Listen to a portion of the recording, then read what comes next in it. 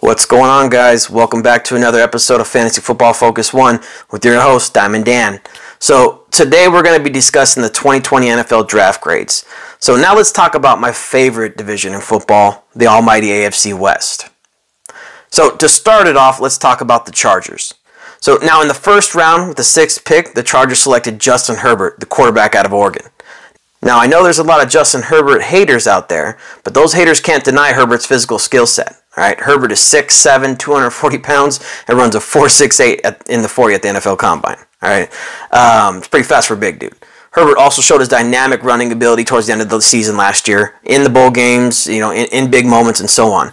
Herbert has a giant arm, biggest arm in the draft in my opinion, and he's shown that he can be an elite elite player, all right, elite quarterback. Now, if he's put in the right situation, now the one thing he will be, all right. Now, the one thing that Herbert does need to work on is his confidence in the little moments, all right. There was times last year when Herbert made bad decisions in certain situations, all right, and that shouldn't have happened.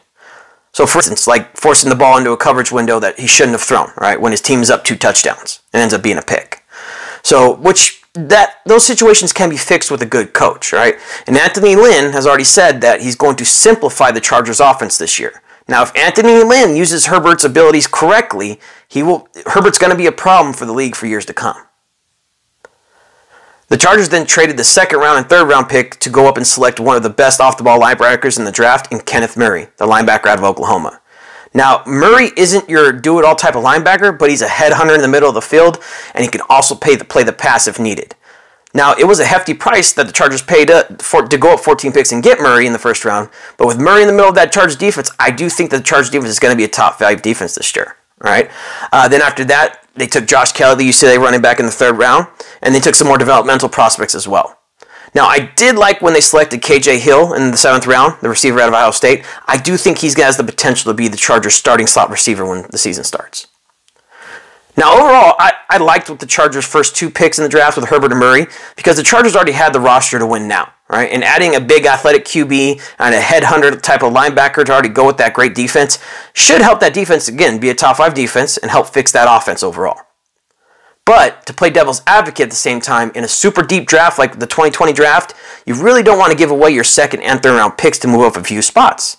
Now, when you get a linebacker, you can go and get a linebacker like Zack Baun in the second round. So, because I felt that this was a deep draft where the Chargers should have really capitalized on it and took those second and third round picks and selected players, I have to give the Chargers an overall C for their draft grade.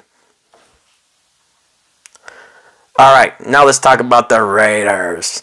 Now, with the Raiders' first pick, they shocked a few people when they took Henry Ruggs with the 12th overall pick. Now, I do think the Raiders should have taken CeeDee Lamb with this pick, but either way, the pick is, you can't go wrong, right? Ruggs or CeeDee Lamb or Jeudy, they're all right. Uh, Ruggs is the closest thing to Tyreek Hill that I've seen in the last five years, flat out. Ruggs runs a 4-2 in the 40-yard dash. Ruggs also possesses great route running skills, legit ball skills, and some of the best hands in the draft. And then at the end of the day, Ruggs can really do it all. All right, he's going to be a problem for NFL teams, uh, the same way Tyreek is Tyreek Hill is for years to come. So great pick, Raiders. Then with the Raiders' second pick in the first round, they selected cornerback Damon Arnette out of Ohio State. Now, some people didn't like this pick and thought it was a reach for Arnette at 19. But at the end of the day, Arnette has has the attitude, he has the skill set that the Raiders are trying to bring to that new team, all right, and try to and they're doing their rebuild. Arnette is physical and he's aggressive at the point of the catch, and he wins in press coverage as well. So Arnette will be the Raiders' number two corner for years to come. Now in the third round, they kept they took Lynn Bowden Jr., a QB running back receiver out of Kentucky, who I think Gruden will use like a Ra- Antwaan Randle El. You know, he'll use him as a gadget player and then certain runs and all that and certain throws. Um, so it was, it was okay big. The Raiders also took Bryan Edwards, the wide receiver out of South Carolina. Now, I really like the Bryan Edwards pick. Edwards is 6'3 and he's a beast at the point of catch. Edwards is extremely aggressive at the point of catch and he manhandles receivers to make sure that he always wins the jump ball. Now, Edwards still needs to get better at running his running running routes and defining his route running. Immediate impact with the Raiders. Then with their third pick in the third round, the Raiders took Tanner Muse, a safety slash linebacker out of Clemson. Now, Muse is another physical freak out of Clemson, just like Isaiah Simmons. Uh, Muse is 6'3", 230 pounds, and runs a 4'4'1". Muse played safety at Clemson, uh, but he'll most likely transition to an off-the-ball linebacker for the Raiders. Muse has a good nose for the football, and he's an overall playmaker. Now, the Raiders also had a great fourth round as well. First, they selected John Simpson, the guard out of Clemson. Now, Simpson was the number one overall rated guard according to NFL.com. Simpson is a nasty, big, physical road grader, and he's going to make a difference day one. And he will be paving run lanes for Josh Jacobs for the next four years. So, good pick. Then to finish the fourth round off, the Raiders got Amik Robertson, the scrappy little cornerback out of Louisiana Tech. Now, Robertson was a steal here in the fourth round, in my opinion. Every analyst loved this pick. Robertson's about 5'8", 185 pounds, soaking wet, but he plays like he's 6'10". All right, he plays like he's Shaquille O'Neal. He's extremely aggressive. He plays smart. He plays press coverage as good as any quarter in the draft, and he doesn't get beat. He will be the Raiders' starting nickel cornerback day one.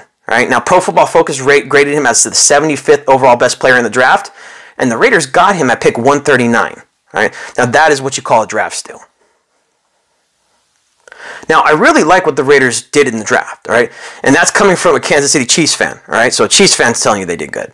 Now, I do think Ruggs is going to be an elite wide receiver. Uh, Arnette might not have been taken at the spot that people wanted to for some people's taste, but the Raiders now have their starting cornerback, second cornerback, who fits their scheme perfectly.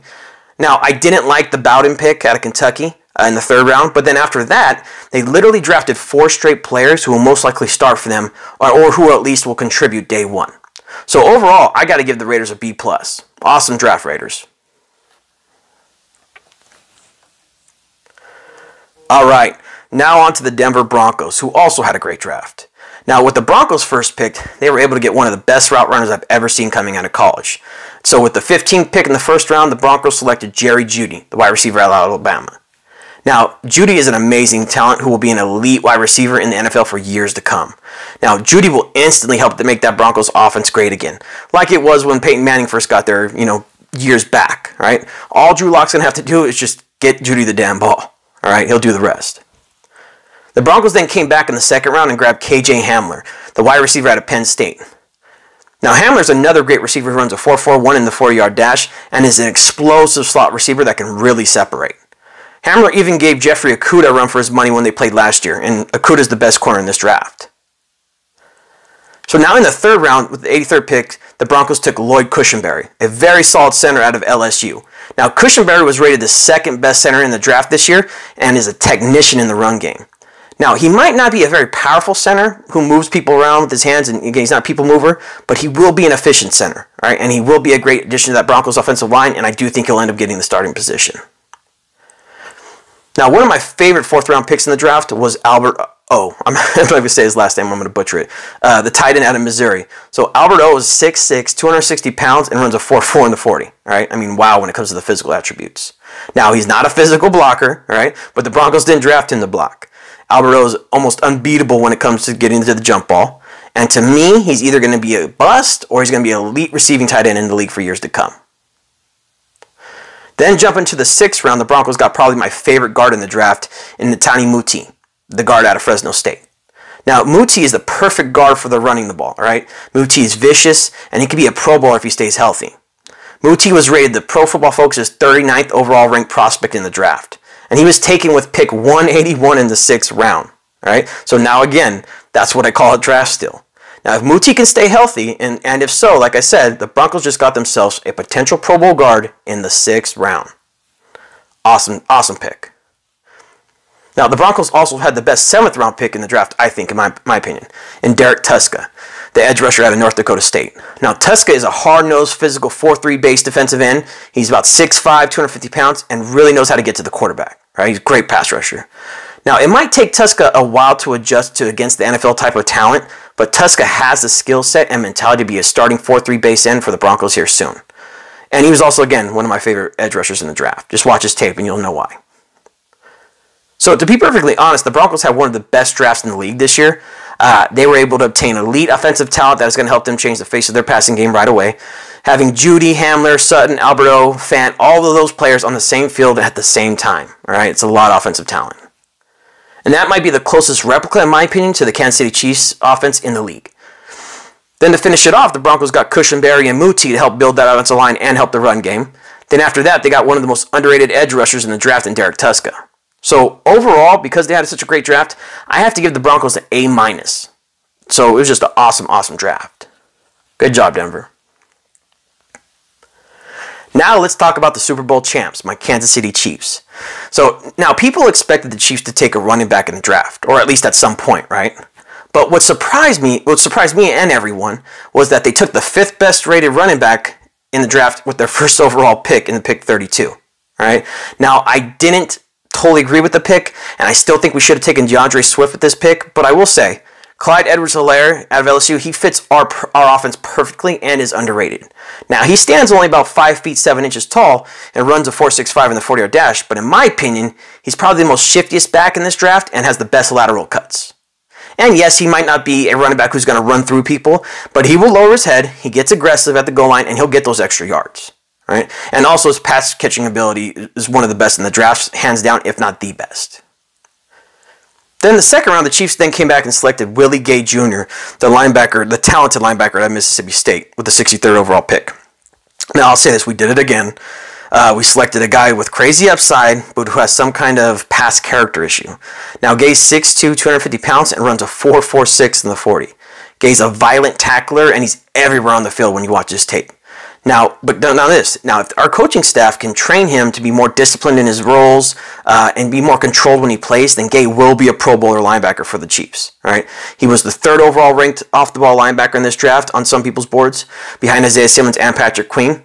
But now, Chiefs fans, listen to me. I really think that he could be an elite linebacker. Uh, the potential's there, uh, it, but again, we're just gonna have to wait and see to see whether or not he plays disciplined and he listens to the coaching staff. Then I also liked our next two picks in Lucas Niang, the TCU offensive tackle. Uh, Niang struggled in the passing game at times, but he has the size to develop and be the chief starter here, here very soon in the near future. Now, after Niang, we took L'Jarius Sneed, the safety at Louisiana Tech. Now, Sneed is a speedster, right? He's 6'1", 190 pounds, and runs a 4'3 in the 40.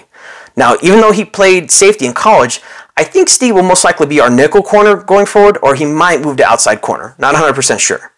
Uh, but he's versatile. And again, I think he's the guy who they're going to try to match up with Henry Ruggs twice a year to keep up with his speed. Now, overall, the Chiefs had a decent draft. We got a good running back who fits our offense that is going to really help us in the run game, and we also selected possible elite linebacker in Willie Gay Jr. But now, to be fair, again, because I want to just be, uh, you know, pro Chiefs, I have to I have to grade the Chiefs at a B minus. All right, now I'm giving the Chim the Chiefs a B minus because they reached in the draft. All right, they mostly took players who are still developmental prospects you know, and again, right now they're, they're really not going to make an effect. Maybe Clyde Edwards-Helaire, but that's it. All right. But still, a decent draft, but I still think we could have done better. All right, guys. So that's it. Um, next week, we're going to be going over the AFC and NFC South. Um, if you like this, if you like the video, hit the like button. If you haven't subscribed, hit subscribe. I appreciate you guys tuning in. I'll see you on the next one. Peace.